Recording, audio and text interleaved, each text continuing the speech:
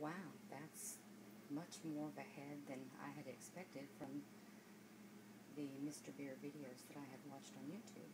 So maybe this is really good beer. We will find out.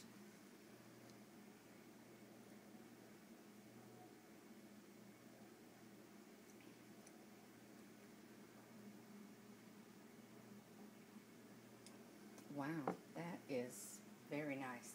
I think I can I think I can handle drinking that. Bye for now.